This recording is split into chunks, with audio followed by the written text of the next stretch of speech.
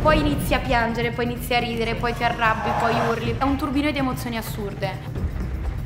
Io mi sono innamorata della scherma completamente per sbaglio. Ho sbagliato palestra e c'era tipo un corridoio con queste due palestre laterali e ho sbagliato porta.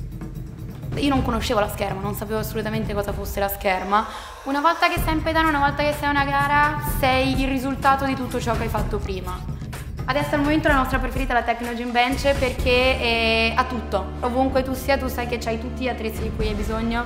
Il mio sogno in realtà era l'Olimpiade, non pensavo assolutamente alla Paralimpiade, però quando il sogno è quello che sia in piedi, che sia in carrozzina, a quel punto non cambia niente, l'importante è riuscire ad arrivare e arrivare là. È strano perché tu cerchi tutta la vita di non perdere per riuscire a vincere e nel momento in cui vinci ti rendi conto forse di quanto era importante perdere. Il mio nome è Bebe Bio. Il mio obiettivo è quello di far sì che il mondo paralimpico riesca ad arrivare al suo massimo splendore. E il tuo obiettivo qual è? Champions Train with Techno Gym.